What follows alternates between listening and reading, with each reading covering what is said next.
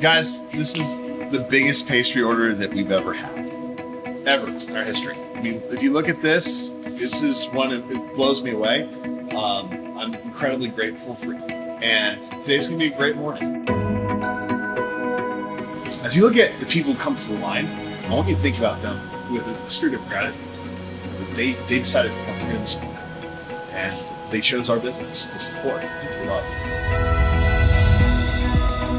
Lord, I am grateful for the way that you provide every day for us, for our business, for our community, for the energy that you give us to accomplish it, for the weather.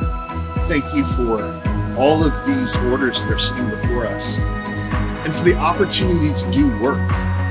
So teach us to be grateful for the moments that we live in. Teach us to be grateful for each other, for the small things that we see every day. Help us to be light, love, peace, and comfort to a world I thank you for my employees.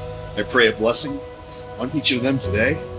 And I pray that you would fill their hearts with joy, that you would give them your peace, that they would know that you love them, that they would know that I love them too.